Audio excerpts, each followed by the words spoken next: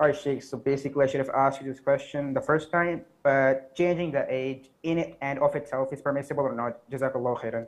Wa jazakum. Akhi, I think this is going to be a habit that you continue to ask me and stalk me on Twitter, on my website, on Ask Zad.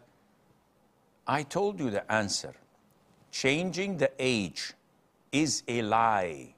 When you say, I am 21, and when you're 18, yes or no? Is this a lie? The answer is yes. So, Sheikh, yeah, but I want to get married and the legal marriage is it? Akhi, regardless, this is lying. So, not only that, you want to bribe officials. Might as well bribe them to get you a discount on the wedding and maybe do this or that. This is the prerogative of shaitan to take you little by little away from Islam by, if not breaking the rules, bending them a little bit. So put a lid on it, stop asking such questions, and move on with your life, and Allah knows best.